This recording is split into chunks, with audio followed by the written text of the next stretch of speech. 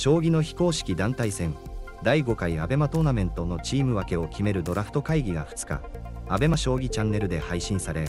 14チームが決定した。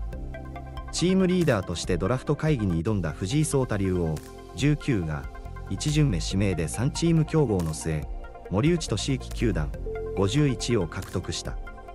チームリーダーとなる棋士14人が自らのチームに参加する棋士2人を指名するドラフト会議で14チームが決定した。指名されなかった棋士が大会出場権をかけたトーナメントで争い上位3人が15チーム目として参戦する。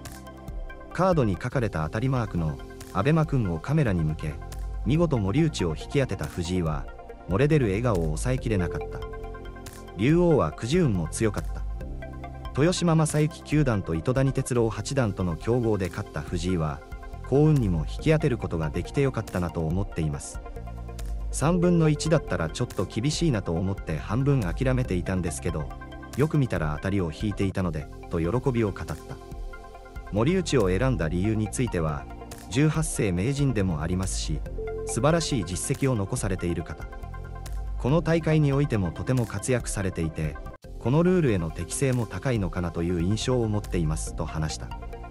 2巡目では一瞬深浦光一球団を選ぼうかなと思ったんですけどと藤井キラーを仲間に引き入れる作戦もよぎったが同じ藤井聖の藤井武球団を指名あまり深く考えていなかったんですけど名簿を見ていたらなんだかそこに目がいったのでと明かし同じ藤井聖の先輩ということで今回は一緒に戦えればいいかなと思っておりますと抱負を語った。前回大会では藤井が率いたチーム最年少プラス1位が優勝しており今回は先輩2人と共に連続優勝を狙う。ライバルとして名前を挙げたのは斉藤慎太郎八段がリーダーを務めるチーム。木村和樹九段と佐々木勇気七段は前回大会で準優勝したチームのメンバーだけに非常に強力な布陣だなという印象を持ちましたと恐れている。3人1組のチームで戦う同大会の対局は待ち時間各5分で1手指すごとに5秒増えるフィッシャールールで行われる。予選は3チームでリーグ戦を行い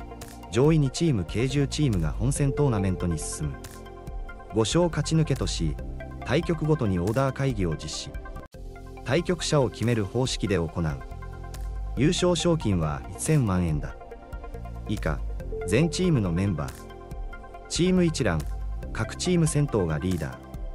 藤井聡太竜王森内俊之九段藤井武九段。渡辺明名人近藤誠也七段渡辺和志四段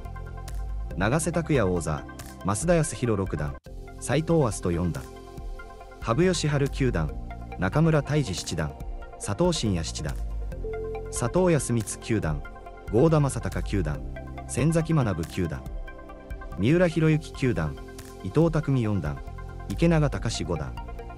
佐藤天彦九段梶浦弘隆七段佐々木大地五段豊島将之九段丸山忠久九段深浦光一九段山崎隆之八段松尾歩八段阿久津力八段広瀬明人八段青島未来六段三枚道達也七段糸谷哲郎八段黒沢レオ六段西田拓也五段稲葉明八段